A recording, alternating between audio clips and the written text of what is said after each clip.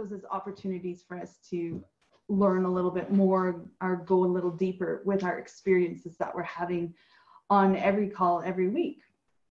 Um, yeah, because it should be different for us every week. It shouldn't be the same thing over and over and over again. Um, I'm sort of realizing this right now while I'm talking.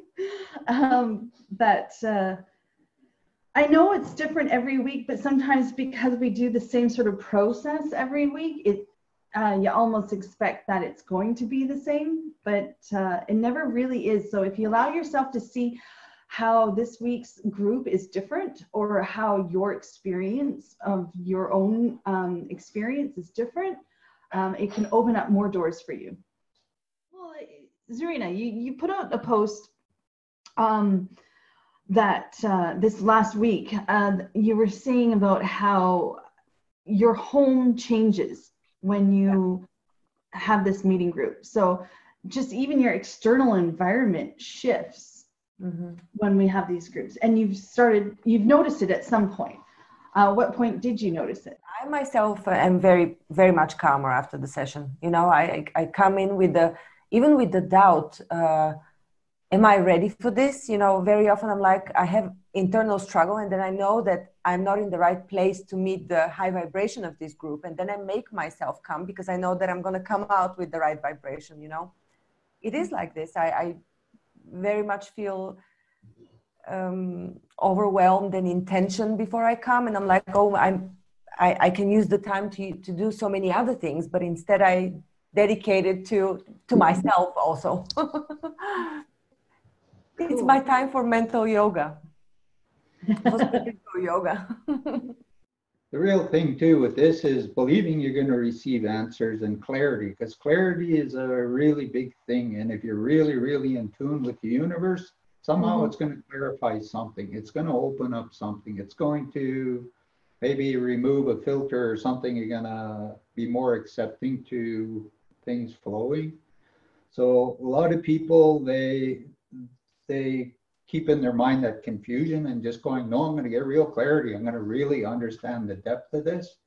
And spirituality is about that because the more you believe in these, the more you unlock yourself, the more you allow bigger energies and truth to present itself. Because there's no resistance and fear, and it's it's a really important thing.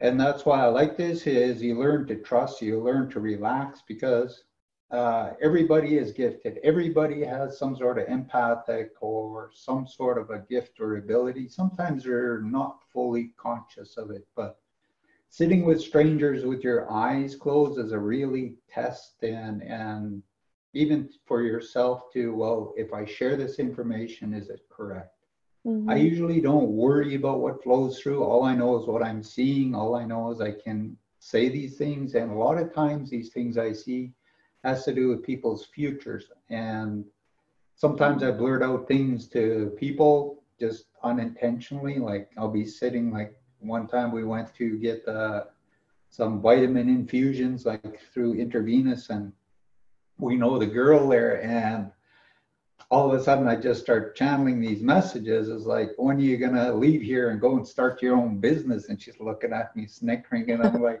I, am telling her all of this because I'm seeing all this stuff, but I'm not telling her how or when. Yeah, yeah.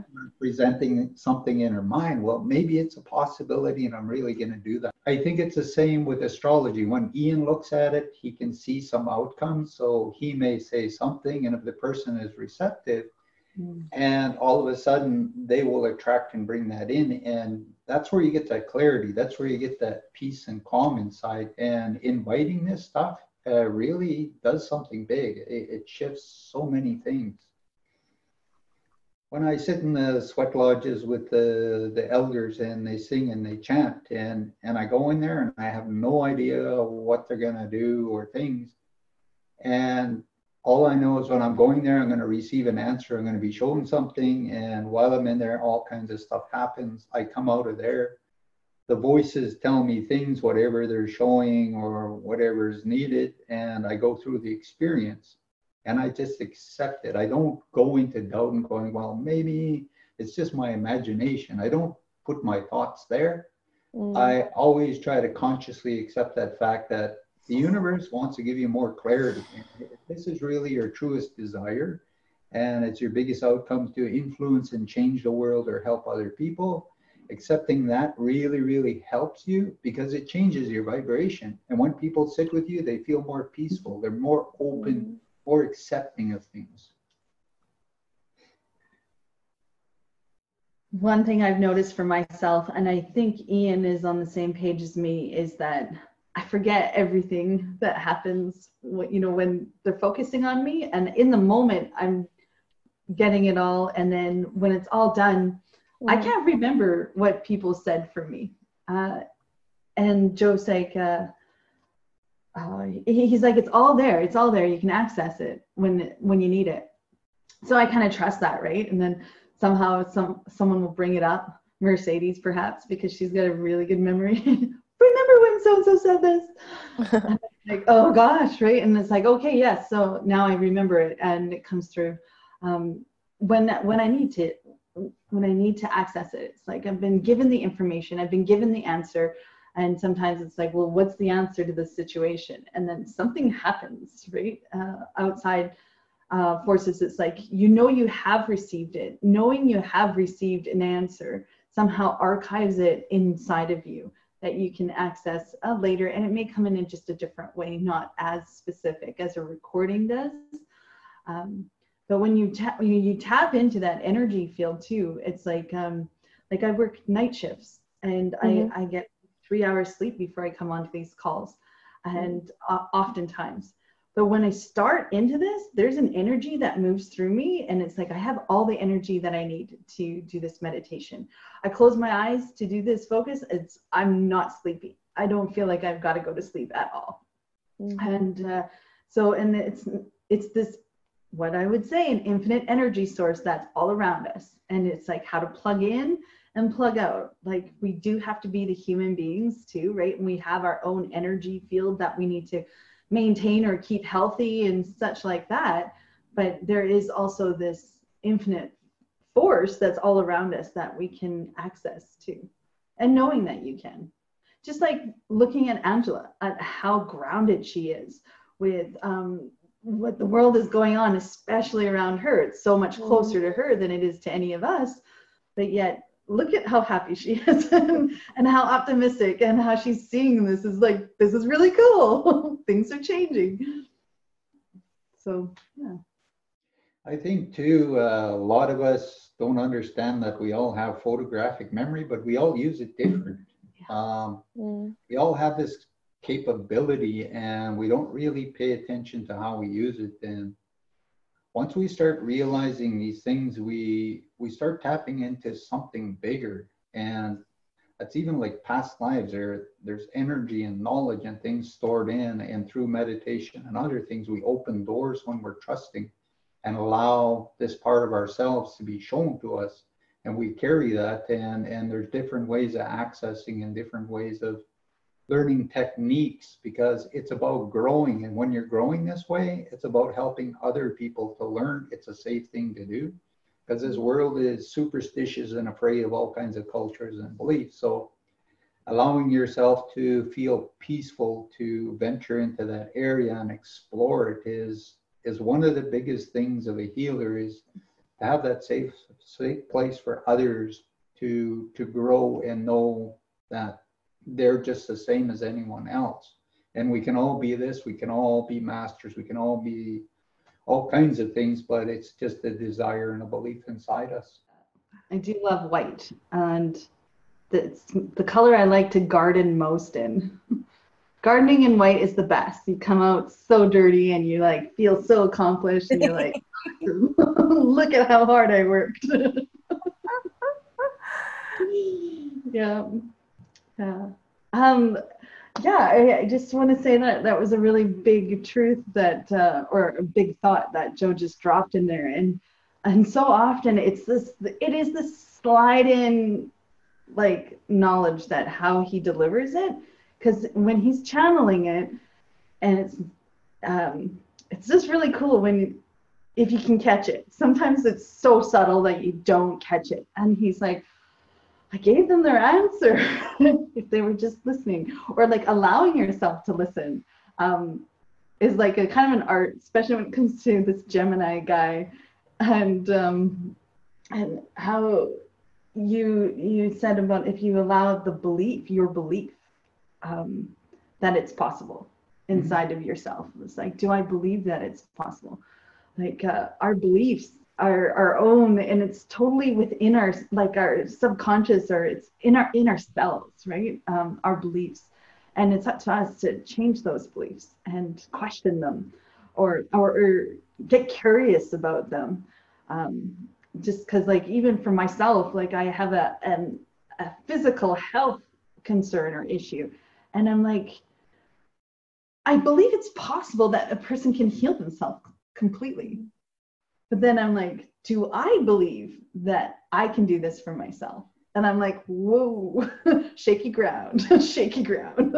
so inside me, there's something there for me to go in. So, um, and the journey is there for me to have, to have my own experience, to see if it's possible or if it, you know, to what degree I experience that um, experience. So, checking in with your beliefs um, especially with all the stuff that's going on in the world, right? And and all the conspiracy ideas we are, are given from the world too. It's like we uh, our beliefs can go down like a, a rabbit hole if we're we're not um, paying attention.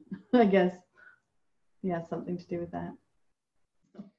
Yeah, with with uh, being with Cindy, like she has learned a lot of stuff over the years and for nine ten years i present information. I i don't really try to push it on her or make her like really do things. I'm always opening doors and she's explored a lot of stuff and looked at a lot of things and it's actually putting that puzzle together and seeing well do i really believe this or don't i? And uh, there's sometimes inside us when we're a child, we believe we're undeserving and we carry an energy frequency. And it could be a little frightening, it could be a little scary. So it challenges us to go deeper into our beliefs. Can I go past this and accomplish it? And some of these things we set up when we were children, we didn't realize we made the decision and decided it.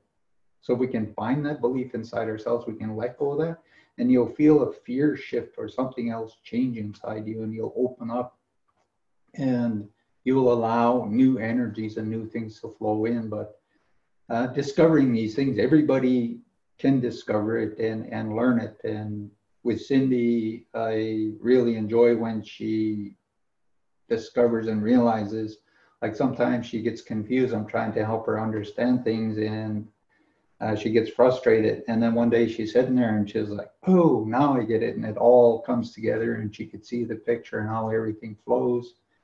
And then she goes back into sometimes going into frustration because she's trying to force her mind or she's trying to do something and instead of just relaxing and knowing it's all going to open up. It's like when you're ready to read a book, you finally open the book and you start actually reading it, and you might put it away for a year and then come back open and then finish the book sometimes you do do things over a stage in time and being uh, compassionate to yourself because we have different processes and sometimes we push too hard and it's not necessary when that time is right and everything is meant to mm-hmm. everything seems to open and it just sort of flows on its own.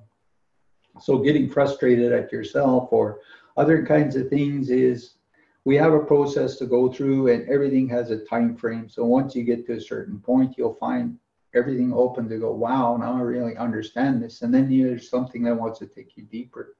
So having compassion to yourself is is an important thing too. You don't always have to push. There's there's things and sometimes even when you're healing it might take a process of a period of time a couple of months before the energy burns out and then the new stuff comes in but you're still working and you're still evolving. So knowing that all these things will happen in time and just believing in it. I am reminded of an experience that I had uh, when I was okay. So here it goes. um, when I was around seven or eight years old, um, I had uh, I had done well on a math test in school or a math assignment in school. And I wanted to show my dad. And I come from a very big family, lots of actions always going on. My dad was on uh, sitting on the floor looking at the newspaper with my brother, and they were looking at something in the sports section. And then I come around the front of them. I remember, and I get down on the floor, and I'm like, "Dad, look at what I I did in math." And then he's like, not paying attention. I'm like, Dad, look, look what I did. And then he said, like, stop, just go away for a minute. I'll get to you later. And that in that moment was like, oh, because I was celebrating my success. And he was busy. And so I I got up, I went down to my room, I climbed up on my bunk bed, and I remember, like it's weird how the memory can hold this memory so clear. And I was so upset, and I told myself, fine then, if nobody cares, I will not do good in math again. And and then I even thought in my head, like, that's not really a good idea. and I remember thinking that as a kid. It's like it's not really a good idea to say that. And um, I, I, anyways, it worked. I was terrible at math, terrible. I kept failing, like grade eight math three times, failed it. it's like uh, I I didn't graduate high school, and math was the main one that kept me really low. And then uh, later on, um, I tried to go back to school to get my education, and every time I came to the math section, I would just bomb it so bad. And it was like always just so embarrassing how bad I would do. And I couldn't quite understand that. And then in my 30s when you're talking about like the right time in the right time um, i just decided that i would go and get the general education uh, book just to have that certificate or whatever and i got the big study guide and i'm just like i don't know how to study i don't know how to do this and then right before i'm uh, like so i didn't study i go to write this you know two day exam and i did this thing and i was like okay guys if you want me to pass this test, you're going to make it happen. And I went into the exam and for the math, especially. One lady got out and she said, I don't want to do this. And she slammed her paper down and walked out. And I was like, whoa. Anyways, did it all and passed everything. And it was like, wow, you mean I actually did it? And it was like something about the right time and also you know this memory of it i see the memory and i understand where i was as a kid and it's like okay that's that's done now i had the experience of shutting down the door and it's like and then opening the door and remember it was just like a prayer like okay guys if you want me to do this make it happen. It's like a, give it to god you know type of thing. And and it and it shifted. It shifted lots for me. So if we can access those memories, of course, there's some that we don't know where they are and hiding inside of us, or those beliefs, and asking for the help to unravel the belief or to open the doors if it's the right time, and giving yourself permission that okay, maybe it's not the right time to deal with this. You know, when it's right, I'll be ready. So you can get them to prepare you for when the time is right for you to overcome an obstacle such as that. Mm-hmm.